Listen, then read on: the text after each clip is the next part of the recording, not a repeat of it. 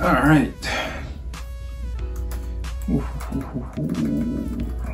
Let me just set everything up. Give me one second. In the meantime, I can introduce myself. Hi, my name's Makasy. How are you? I hope your day is going well. I hope the heat isn't being too harsh in your area because it is hot in my room right now. Like, I'm sure you can see me sweating because I have to turn the AC off to film this video. Otherwise, it's gonna be in the background. All right, but um, let's just let's just start the video. So today I have one of my most obnoxious, my most luxurious, my most insert an adjective here item that I have in my closet. So what we have today is the Gucci Princetown loafer. I already showed it off earlier, but let's talk about it in detail now. This is kind of what I do.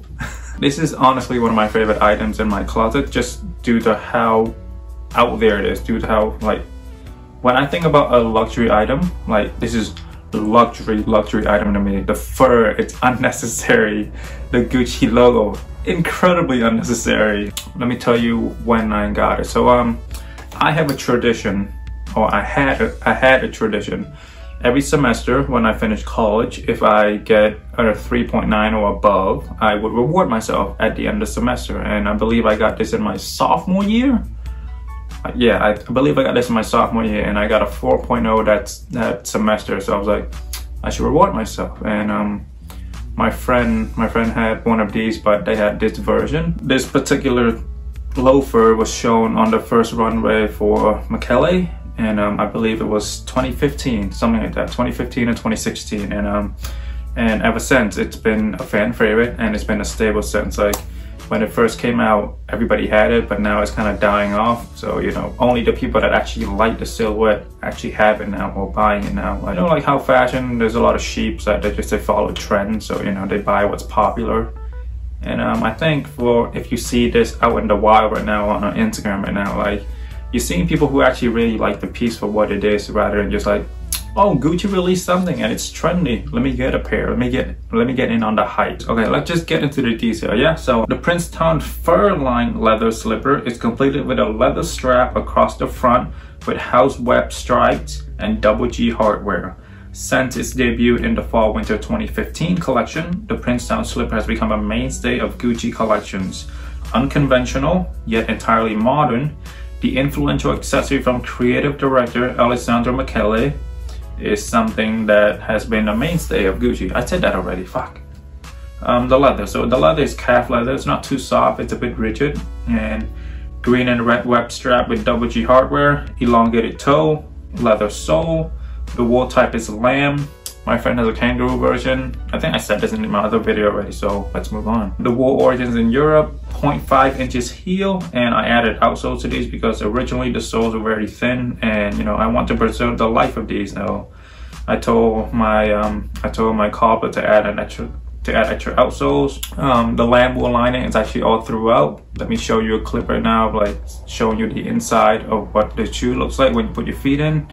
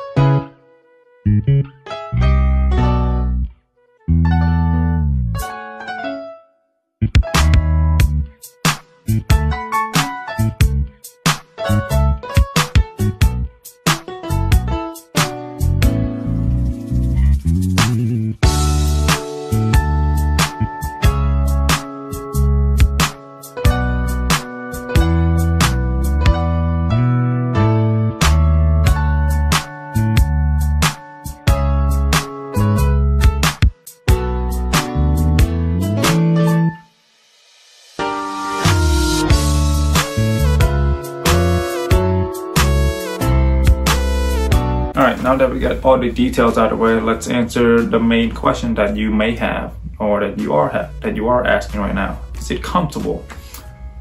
Well, that's probably not your main question. Your main question is definitely, is it warm? It, will it keep you warm? And the answer is simple. It's yes. It's gonna keep you very warm because you know that thing, that study about like how if you keep the bottom of your feet warm, your whole feet will stay warm. Like this is why socks exist. So you know, like since your feet are gonna be covered in fur, in lamb wool fur, like it's gonna keep you very warm. And the exposed ankles, like you know, when you you're gonna wear pants, like even if you wear shorts, the bottom of your feet are warm, so your leg is gonna be a lot warmer than they are. The question I want to get back to is it like, is it comfortable? Yes and no. it's a bit complicated. They are very easily accessible, so you know you slip on and off. So that's a good part. That's a pro. But since there's not a lot of support, like the line is very thin. Even with me adding extra outsoles in there, they're still very thin. So you know, like me having flat feet, I need a lot of support. I need technology, and this thing lacks technology. So it's not a match made in heaven. So maybe I should have thought about it before I got it, but I just wanted to reward myself. I was young, okay? I was like 19, yeah, something like that, 19 years old. So um, yeah, anyway, I already got it. So yeah, so it is comfortable, but I can only wear it for like an hour or two. Like if you tell me like, hey, Makasy, let's go into Boston, let's go have a fun day out in Boston. I will not wear these shoes because, you know, I'm, I'm thinking we're gonna be walking around a lot. It's gonna be a four or five hour thing. But if you're telling me like, hey, let's go to the mall real quick, let's go, let's go eat real quick, like, and then you know, if I have to drive, like, you can just easily slip on and off and go, like, for one to two, possibly three hours of wear, like you're good. But the longer you wear it, you're gonna feel the ground a lot more. Like, it's not a lot of support. Um, another, let's let's do a quick comparison to my Birkenstock. Is it more comfortable than my Birkenstock? Absolutely not. I honestly think my Birkenstocks and my New Balance those two are I should like Guidi to that too. So Guidi, Guidi is definitely my most comfortable boots. And my least comfortable boots as of right now are these.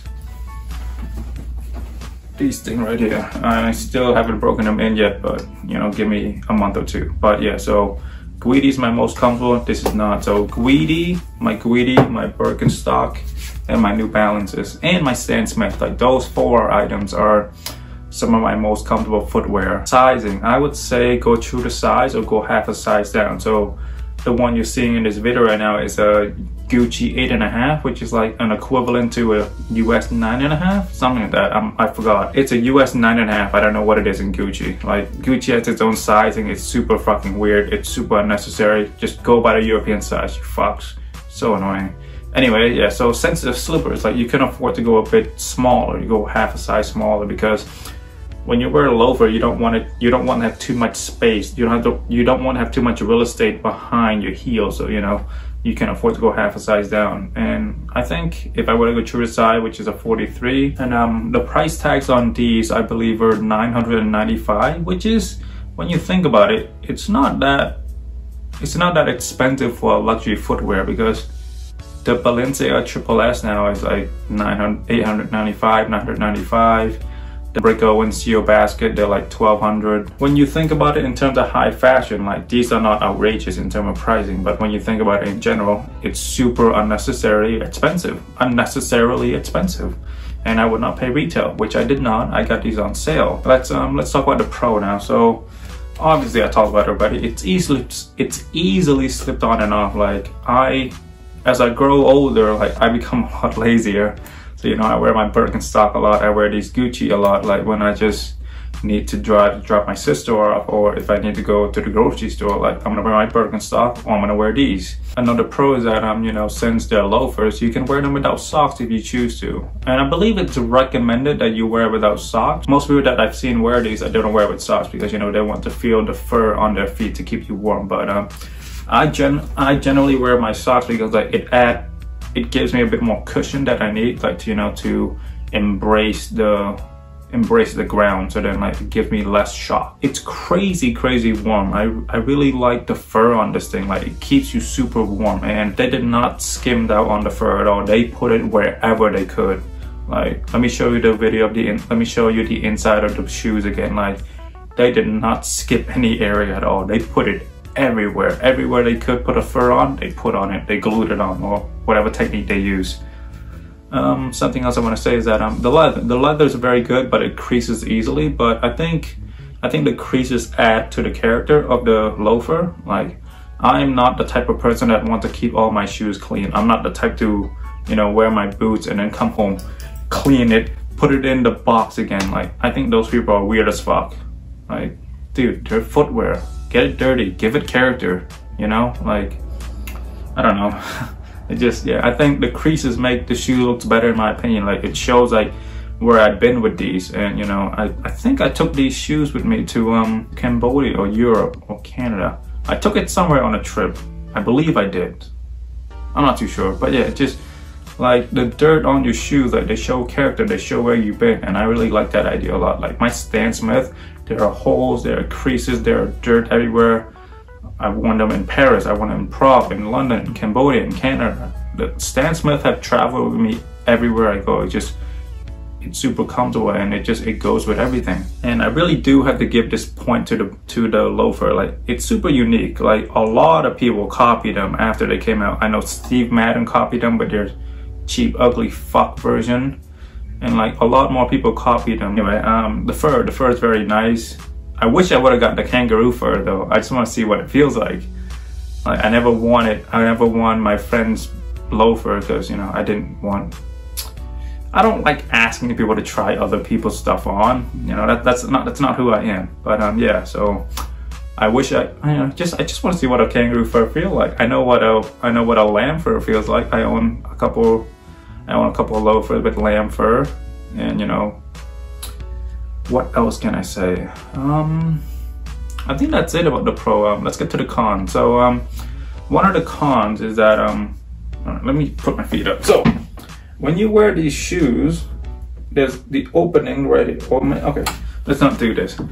I'm gonna insert a clip right now of me talking about the main con of this loafer. So um, roll the clip.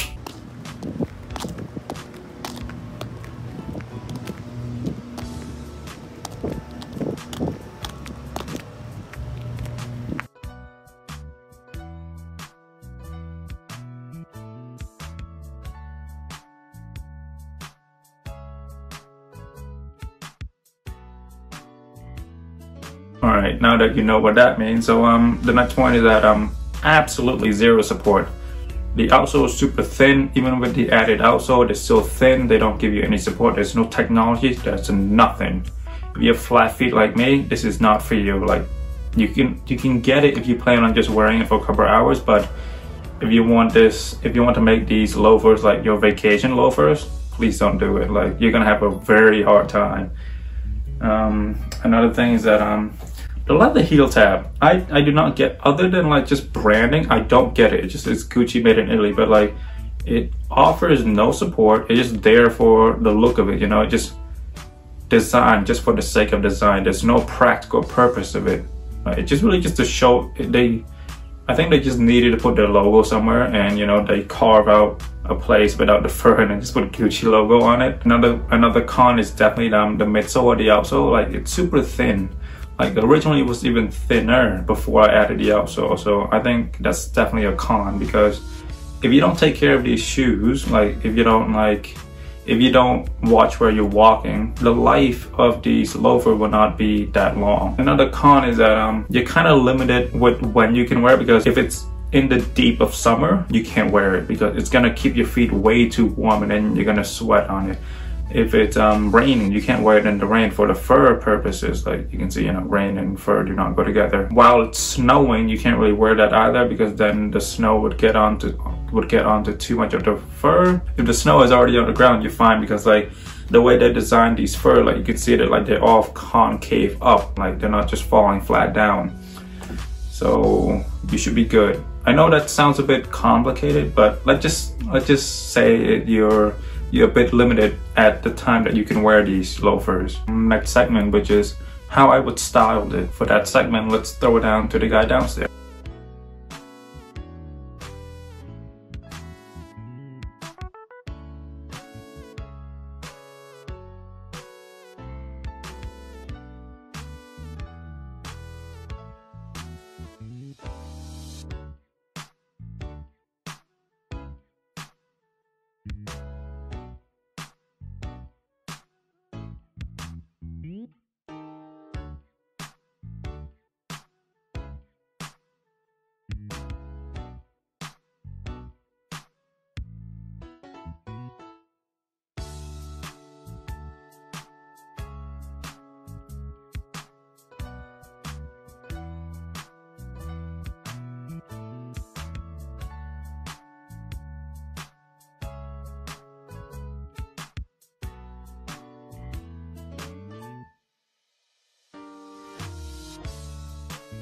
All right.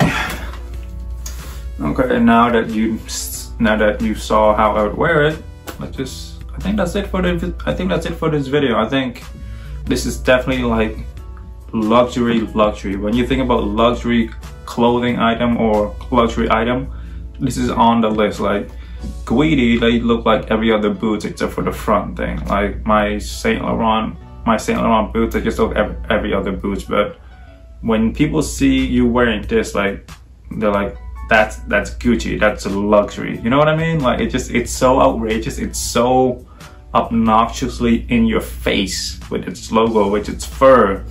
Like it's an attention grabber. Like when I wear these in the grocery store, like, you know, people turn around and look at me, like do a double take, which is, you know, sometimes it's I don't know where I'm going with that. But yeah, so you know, people do a double take when they see me wearing these, and which is nice. Sometimes it starts a conversation, be like, "Hey, I really like your loafer."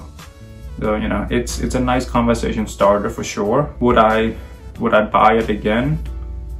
I would probably not buy it again. If I could go back to that sophomore year, which is like 2017, 2017 or 2016, I would probably buy a Birkenstock instead because with how I am right now, how I don't want to be too out there, out there in terms of like my my fashion sense, I would probably not get these or I would try to get, you know, the version I wanted originally, which is a bit more subtle. But yeah, um, that's really, that's about it. Um, thank you. Thank you very much for watching. I hope you have a good day.